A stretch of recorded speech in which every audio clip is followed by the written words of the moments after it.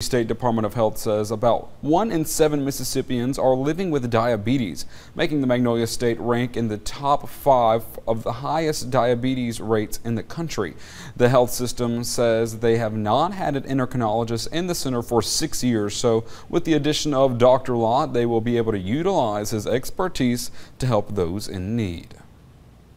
As a full spectrum endocrinology practice, we prescribe and treat uh, most endocrine disorders such as thyroid disease, adrenal disorders, pituitary disease, uh, and that includes full spectrum such as injections, full workups, and uh, prescriptions that you may need. We're also very blessed to be accompanied by the diabetic team here with Terry and Denise who can help you with anything from insulin pumps to CGM monitors uh, and just your general diabetic needs.